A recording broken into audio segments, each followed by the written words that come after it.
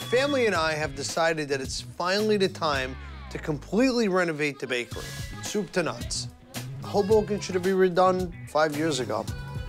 Let's face it, this bakery is getting a little dated and worn out. She's overdue for a complete makeover. Oh, the new season of Cake Boss is gonna be um, pretty amazing. I think that we went back to um, the basics on some of the cakes that I've done.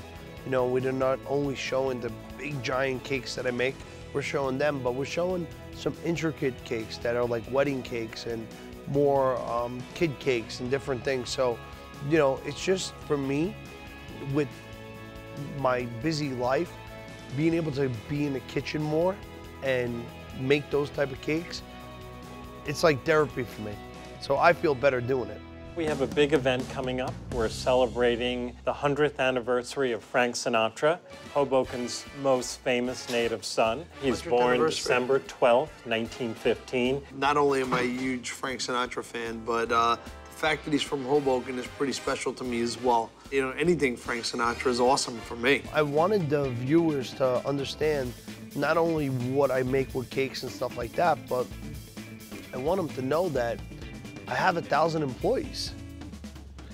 I run a really big business, you know, so it's not just about the cake you see me making. Uh, you know, and I opened the door a little bit so that people could kind of see into what my business is all about and what we're doing. So the design of the bakery is to have an open kitchen so our customers can see all the baking, all the decorating, and you can get the smell of the cakes and the different cookies and pastries. I'm a businessman first and an artist second. You know, um, you got to know how to play that game because it's a very fine line. Because um, you want to make cakes because it's your art, but you, you can't do it for nothing. You got to make money with it. For me, it's about challenging myself. It's about pushing myself to the limits. I started out as a baker, but I had to become a businessman to provide for my family. And I put my blood, sweat, and tears into everything I do. But what makes me happiest is my roots. Going in and being a baker and cake decorator every day. I think it's God helping me, you know, steering my hands or my vision or, or, or what, what it is that drives me to get that achievement, you know? And when you step back and you look at what you created, I remember finishing that cake and stepping back and, and all my decorators, their jaws were on the floor, you know? And I, and I was like, I still got it. You know, I, I, I could still turn heads like that and, and, and amaze myself.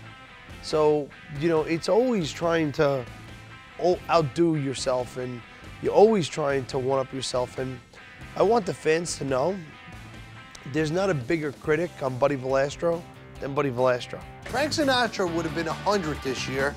Hoboken is celebrating, so of course I'm making a cake. Look at that. Uh -huh. Wow. Hello, Claro viewers. Don't forget to watch Cake Boss on Discovery Home and Health. Now that I see the ovens, I realize the space may be too small for the open kitchen I want. This is a big problem. I mean, we're supposed to reopen in a few days.